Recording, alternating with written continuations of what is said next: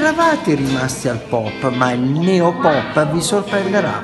Una stampa serigrafata di Warhol sui Beatles, le scritture di Tomoko con quello che vuol dire il concetto di arte in strada oggi di Mr.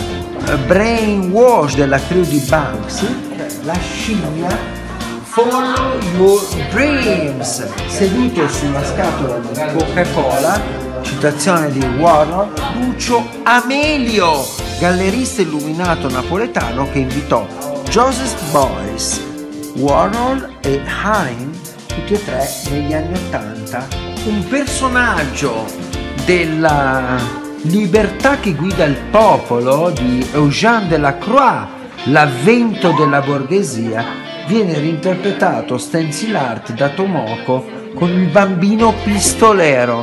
Felipe Cardena con i suoi supereroi e il collage, l'allegoria ultra pop ci annunciano quello che è un kitsch elitario. Amici miei, io vi saluto. Bomba, guardate quante bomba. Matanè.